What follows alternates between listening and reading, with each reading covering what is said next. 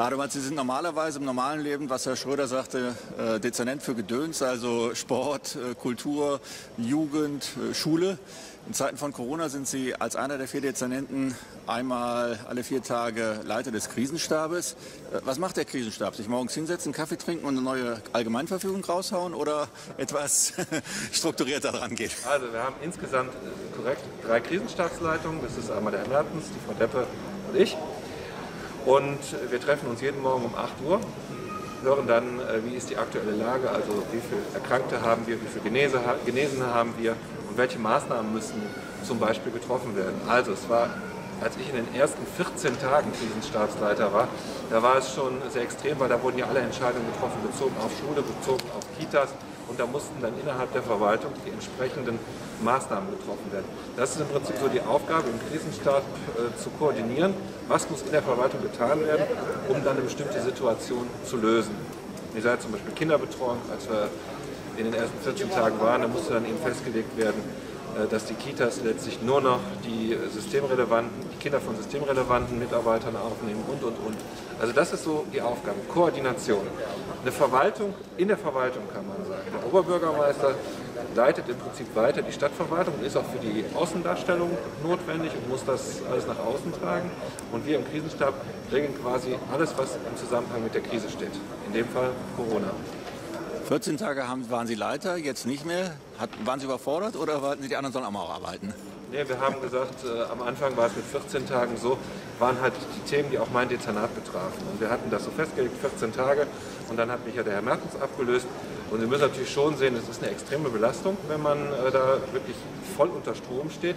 Die Situation hat sich natürlich durch den, ich sag's mal, Shutdown deutlich entspannt. Das heißt, die Grundregelungen wurden alle getroffen. Und äh, danach ging es auch darum, zu gucken, in die Feinheiten zu gehen. Und dann gab es ja auch die Rechtsverordnung. Wir haben am Anfang Allgemeinverfügung erlassen. Allgemeinverfügung erlassen die Städte und Rechtsverordnung kommen vom Land. Und äh, da haben wir dann auch schon bestimmte Regelungen getroffen. Und dann geht es immer wieder darum, Fragen zur Beantwortung und wieder neue Regelungen zu treffen. Warum sind jetzt nur drei Dezernenten, die sich das teilen und der vierte, der Gesundheitsdezernent, der vielleicht auch was mit Corona zu tun hat, darf nicht mitspielen? Der spielt ganz gewaltig mit, der Herr Lüdenbach, weil er nämlich den gesamten Gesundheitsbereich verantwortet und damit Bindeglied ist.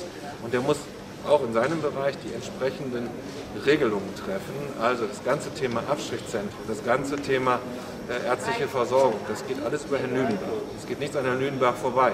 Und auch das, der gesamte Bereich äh, ärztliche Gesundheitsamt, ärztliche Versorgung geht über Herrn Lüdenbach. Also von daher wäre es sicherlich eine extreme zusätzliche Belastung, wenn er auch noch Krisenstabsleiter wäre.